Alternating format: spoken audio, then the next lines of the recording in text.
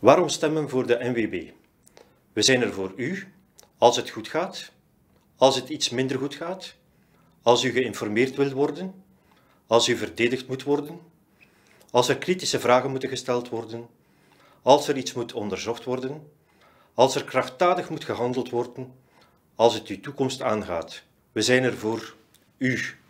Eh, de volgende sociale verkiezingen zal uw stem beslissen wie de komende vier jaar uw belangen zal behartigen.